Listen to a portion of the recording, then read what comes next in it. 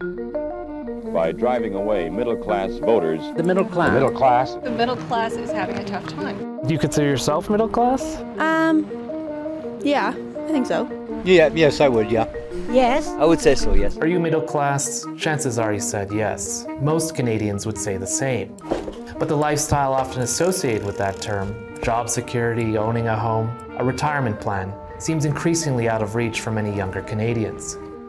We know that inflation is putting pressure on what people can afford, and incomes aren't stretching as far. So I wanted to know what that means for people trying to keep up with the so-called middle class lifestyle. The comfortable middle class. strengthen the middle class. Growth for the middle class. the middle class. Clearly, middle class. Again, for the middle class. But first, there's an important question we have to ask ourselves.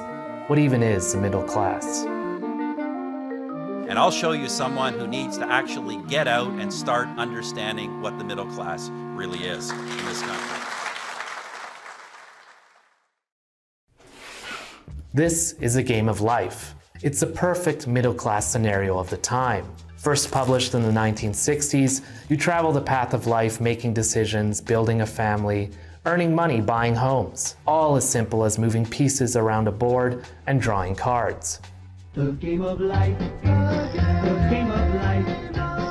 Have you ever played the game of life? Yes, I played that game. Is that game ho- hopelessly out of date right now? I, I don't remember the details of it, but but yes, as you describe it, it, it is uh, very out of date. That's live. We do know that a majority of Canadians, really since uh, the post-war period, uh, 1960s, 70s, uh, call themselves middle class, especially in North America, where working class wasn't quite acceptable after the 1930s or 40s, sort of a, a class conflict term, right? Uh, middle class is sort of neutral, and and uh, and more people were joining the vast middle class. I want to ask you, you know, how would you define the middle class if there is a definition? Well, okay, good. I I don't use the term middle class. So when I when I do talk about these issues, uh, I, I I always talk about the middle income group.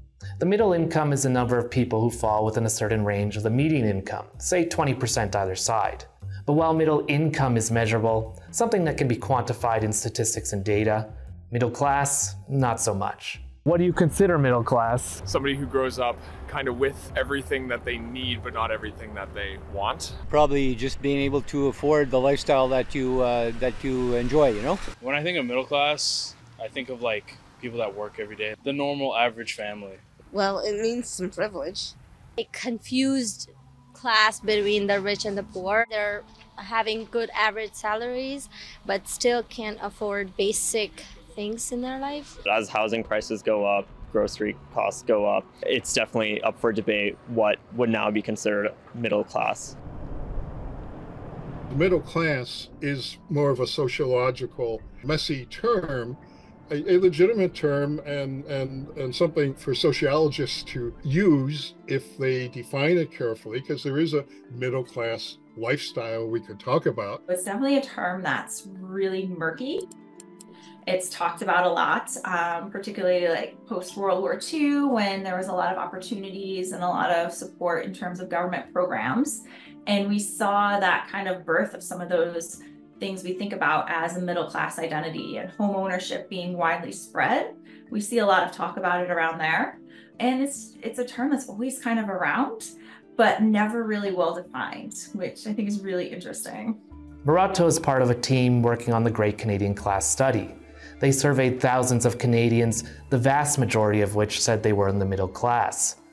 The researchers are now doing more in-depth interviews with some respondents. A lot of the interviews will be someone saying, Well, I think I'm middle class, but I don't really feel like I'm middle class right now. I think they have incomes that would classify them as being middle class in Canada. But then they also feel like they can't necessarily afford the things that they want, particularly in terms of housing and housing challenges. The ideal middle class lifestyle, that feeling of middle class, is increasingly met with barriers for millennials. I always think of like Homer Simpson in The Simpsons. I work hard for the money. You know, the idea that you can have a job that provides for your housing, you can afford to raise a couple kids, you have a car, maybe two cars. Uh, not a lot of extras, but enough to cover those basic needs. And he can afford three kids, which is increasingly wild to me as an idea. One thing that Homer has that many people now struggle to do own a home. Michelle Cyca has written about the changing tides of home ownership in Canada, something more and more difficult to imagine for millennials like her. As housing has gotten more expensive and incomes have stagnated, there's no longer this kind of correlation between your job and how you can afford to live. And home ownership isn't the only thing that's changing. It's also that broader idea of we don't necessarily have lifelong jobs anymore. You don't graduate and go work for a company and stay there till you retire. There's a lot less um, predictability about it. Morato says younger generations are making different decisions because of that lack of stability, maybe taking a different career path or considering lifestyle choices. We've had people talk to people who say, Well, I really wanted to study this, but I was worried about getting a stable job. So I made this choice instead and just a lot of worry about what's happening next. But it doesn't seem like people are willing to let go of the label. A poll last year found 78% of respondents considered themselves middle class, a relatively consistent result over the last few years of the annual survey. Does that mean what it means to be middle class is changing? That's hard to say. There isn't a lot of consistent data to compare to. Right now, we're just getting a slice of things in 2023. And that's still, people are still starting to struggle economically in many ways, but still identifying as middle class. So, middle income is something that could be calculated by looking at the median income. That doesn't always tie in nicely with middle class, which is a bit more murky and based off certain lifestyle expectations that may be slipping away. But that doesn't mean we've heard the last of the middle class. It's a catch all for many Canadians, a favorite of politicians trying to appeal as far and wide as possible. Strengthen the middle class. Economic growth for the middle class. Reduce the tax burden on middle class families. We want to help the middle class. To make life more affordable for the middle class. Politicians who use the term middle class rarely define it. Right? We don't know what they're talking about. How can the finance minister help the middle class when he openly admits he doesn't know what it is? We know the middle class is all those people who were left behind by the previous government. But for all the political usefulness of the middle class, it's also important to remember who's being excluded. That even the expectations of yesteryear were always the purview of the privileged, locking out many indigenous and racialized people. Life doesn't follow that nice uh, trend line, if you will, for all people. And we have to remember for a lot of Canadians, it, it never existed. I think it can be divisive in some cases here, and it's definitely leaving people out. I would argue, though, we need to talk more broadly. We need to talk about people in poverty class and working class as well, and think about policies that matter in those cases. Middle class, no matter the definition, most people are feeling the pressure of everyday life. And many who feel like they're in that middle are taking notice and advocating for change. For people in the middle class, it's they're starting to get lower and lower because honestly, in this day, it's starting to become no in between. One thing's for sure, it isn't like it used to be.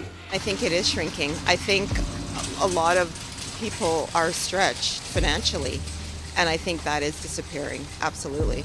I feel like it's a lot harder now and especially for people trying to aspire to be like not to be middle class but to stay within that i think it's becoming increasingly uh, more difficult for for younger people uh, to, to to buy into the uh, to American dream of let's say white picket fence and having a home and whatever you know it's it's tough for the younger generation and I, I feel sorry for them you know but this murky elastic term isn't going anywhere and it can be useful for us to think about the financial fabric of our society and how to address it during a time of economic uncertainty. Okay, so you're saying maybe I'll have a tough time getting a job like my dad's. No, no, I'm saying you'll definitely never get a job like your dad's, and you'll have a tough time finding something significantly worse. Make sure to check out the description below for our sources and more useful links about this topic.